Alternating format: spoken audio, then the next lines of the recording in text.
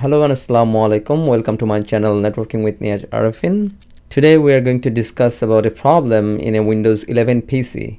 It's a domain station and the user on the startup is forced to use face sign in and then hello pin followed by Microsoft Authenticator. So first the user on the startup, the user is facing this, this screen where it says to enable the face sign in and secondly it goes to this page where it says to enable Microsoft Authenticator. So basically it's this and we wanted to get rid of this. So how can we disable this on a domain PC? There are a few steps that we have to follow and we are going to explore all of them and successfully disable them.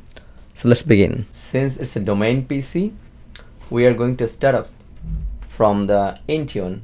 It's a hybridly joined network connection, so all the policies coming from Intune. So we will make sure first there is no policies pushing the devices to enable the hello at the startup. We have already checked the hello is currently disabled. So let's do a registry modification. So we'll go to the PC, which is here. We are going to go to the path computer, HK local machine, software, policies, and then Microsoft. Then here we are going to create a new key and then we are going to name it passport for work. Here. Okay here. We have renamed it. And then I will click here then new. Then we will create a dword 32-bit value here. And we will name it like this. Use passport for work. And then double click it.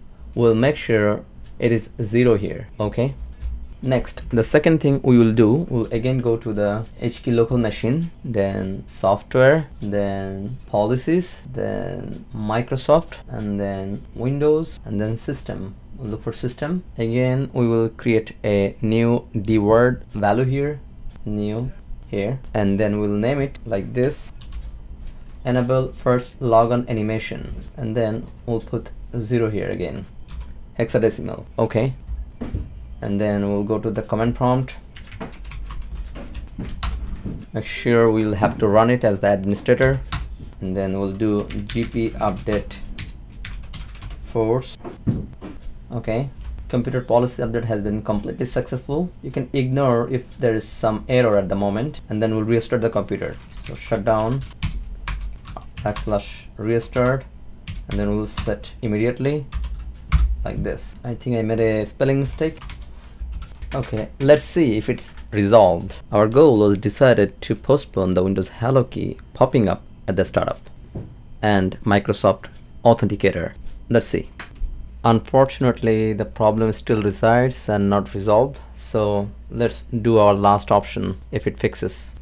The very last but not the least thing that I want to check is I have to come to the Windows group policy. All I can do is Windows R and then I can type gpedit.msc but make sure you have the elevated privilege. Hit ok and this is the screen. You should click computer configuration administrative templates windows components and then look for windows hello for business.